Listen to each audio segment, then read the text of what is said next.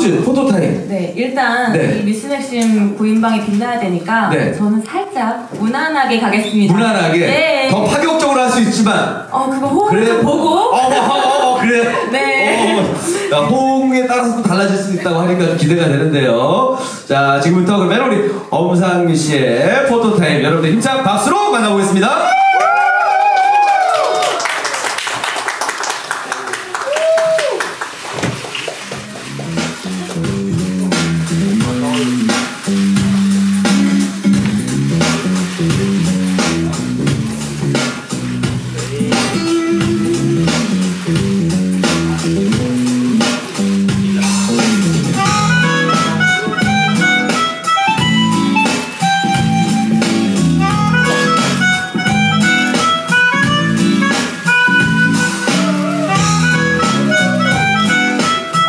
네, 여러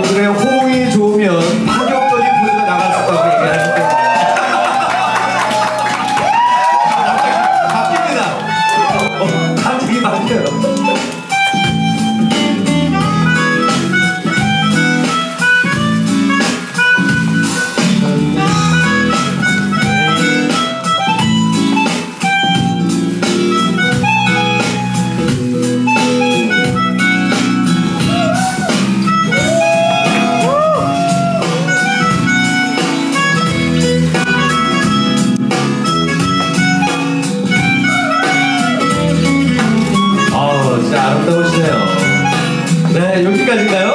아, 야, 아니, 우리, 아까 전에 우리 진행할 때만 해도, 어, 긴장돼요. 막 이러다가 포즈할 때는, 와, 확실히 진짜, 아, 프로, 프로시네요.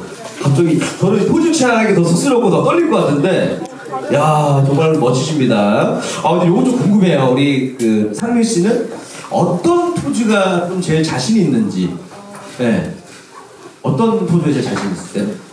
저는 일단 네. 음, 한번 보여주실래요? 뒷모습이 제일 좋아요. 뒷태! 뒷태! 아! 소리가 나오네. 아, 이 모습이 제일 자신 있으시다고. 그리고 앞모습도 네. 호응이 좋았으니까. 아, 앞모습은 요 포즈가 조금. 네. 야, 그렇군요.